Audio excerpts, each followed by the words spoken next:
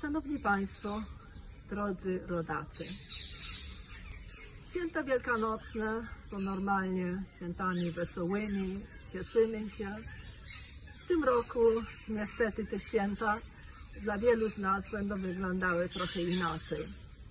Dla nas specjalnie tutaj we Włoszech, nie tylko dla Włochów, ale dla, dla Polonii, osoby tak jak ja, znajdujemy się daleko od przyjaciół, znajdujemy się daleko od e, rodziny.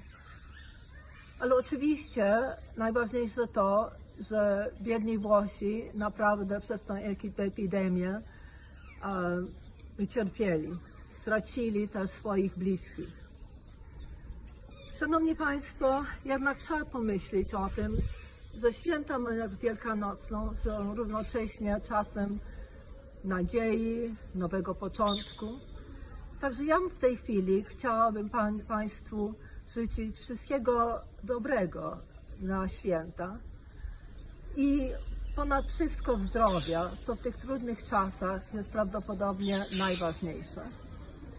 Patrząc naprzód, patrzymy z nadzieją też w tym czasie i myślimy o nowym początku. To powiem tak, że po tym wszystkim mam nadzieję, że wyjdziemy jeszcze lepsi niż jesteśmy teraz. Żebyśmy razem się trzymali, razem pracowali i na pewno, jak się mówi, będzie dobrze.